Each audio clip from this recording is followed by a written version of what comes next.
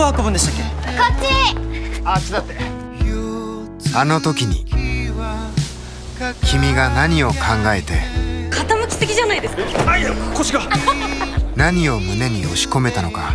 それはわからないけど。先生何してんの？浜辺先生だろきっといろいろな思いを抱いてきたと知っているから。みんな喜んでくれるかな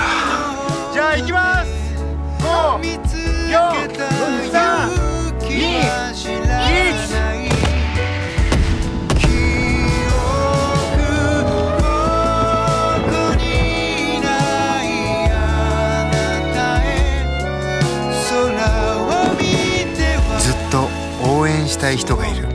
ドコモのロング学割22歳までずーっと割引。先生やるじゃん